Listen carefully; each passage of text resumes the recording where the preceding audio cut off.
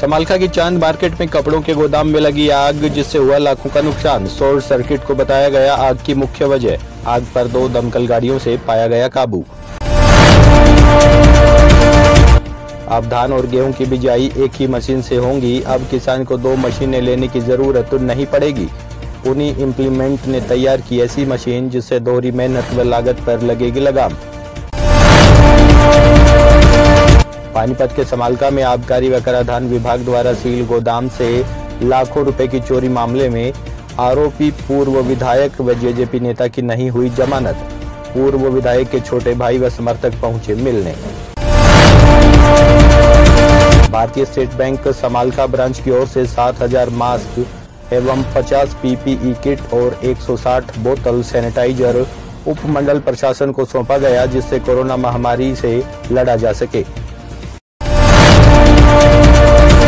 कैथल ज़िले के ढांड कस्बे में कोरोना पॉजिटिव के दो नए मामले सामने आए हैं।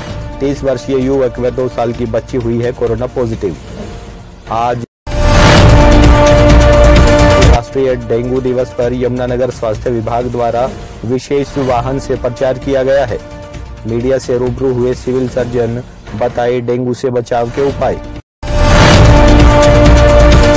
पूछताछ के दौरान शराब माफिया भूपेंद्र सिसाना की तबीयत हुई थी खराब। रोहतक पीजीआई में चल रहा इलाज अब हालत बताई जा रही खतरे से बाहर।